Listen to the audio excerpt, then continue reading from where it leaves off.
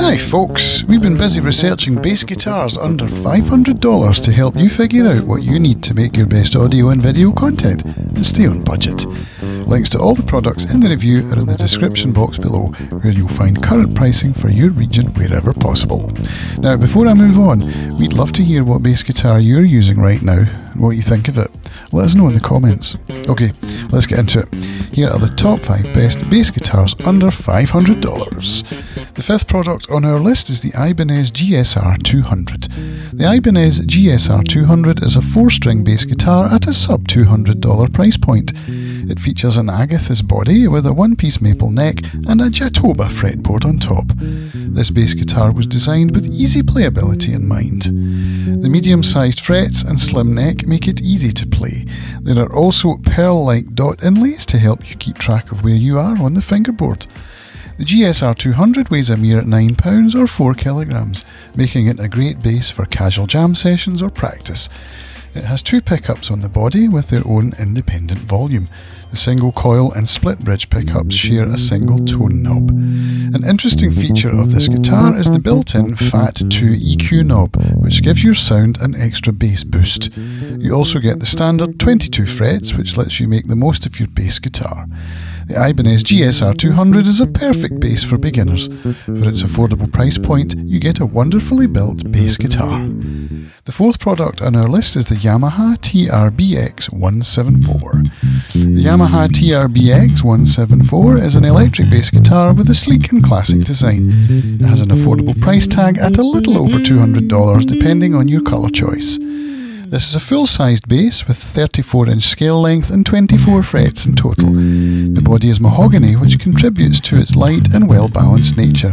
It weighs in at just under 9 pounds or around 4 kilograms, making it comfortable to play sitting or standing up. The neck is maple wood, which feels solid and easy to hold even if you're playing fast. The TRBX 174 features chrome hardware and four adjustable saddles. The control knobs are made of hard plastic, but they aren't wobbly. The Yamaha bass features two passive pickups that are in the mm-hmm. PJ configuration. J is for jazz bass style and P is for precision style pickup. This is a great addition for beginners who are looking to explore different tones in their sound. Yamaha doesn't cut corners with sound quality. The TRBX 174 has a good range of tones from crisp trebles to smooth lows. With the P and J pickups, you can also achieve bright highs or a deep bass sound. Overall, this is a great bass guitar if you're looking for the quality that Yamaha offers at an affordable price. The third product on our list is Sterling by Music Man Stingray Ray 4. Sterling by Music Man's Stingray Ray 4 is a bass guitar that warrants a double take.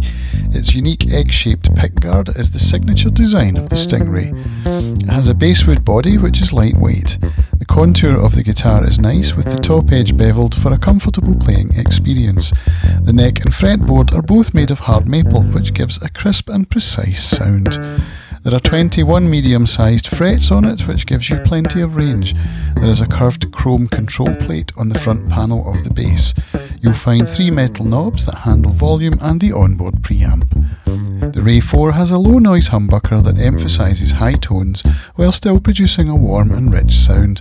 On board there's a two band EQ and a preamp which lets you boost or cut either the high or low frequencies. Playing on the Ray 4 is a fun and comfortable experience with lots of room for customization. It has that bass sound that you can tweak according to the genre you're playing.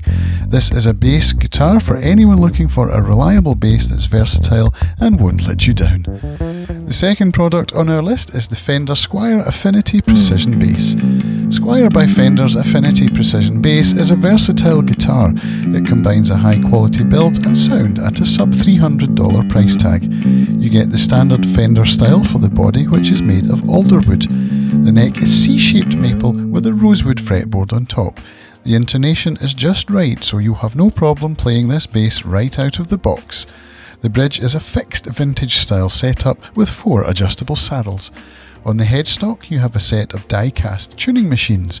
The Affinity bass has a PJ combo with a great amount of clarity and output. You also get controls for tone shaping and a master tone knob. The Precision and Jazz pickups provide you with a ton of tonal options. Overall, you get a great guitar with Fender quality and design. This is a perfect entry level bass guitar.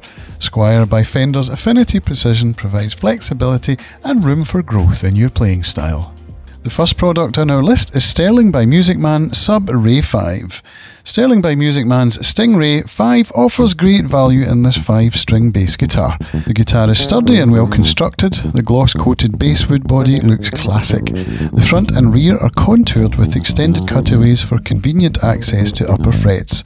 The neck is maple with a satin finish and clean fret ends. This bass offers you the classic tones of higher priced Stingray guitars. You get a thunderous bottom end and round tones. You have EQ controls which lets you tweak your sound by cutting or boosting different frequencies. With five strings, you'll be able to hit lower notes, which gives you flexibility over genre. Recording is a breeze with the Stingray 5, you can easily get clean audio while playing. The low noise humbucking pickup contributes to the great sounds you can draw out from this bass. Overall, if you're looking for a beginner level guitar that can go with you or an everyday practice bass, then Sterling by Music Man's Stingray 5 is a great buy. And there you have it, folks, the five bass guitars under $500 that got us excited this year. If this video helped you in any way, let us know by giving it a like, and if you're new here, hitting the subscribe button. If you would like to see some more reviews from our team here at Gear Music Tech, here are a couple that we think you'll enjoy. We look forward to seeing you back here on Gear Music Tech soon. Bye for now.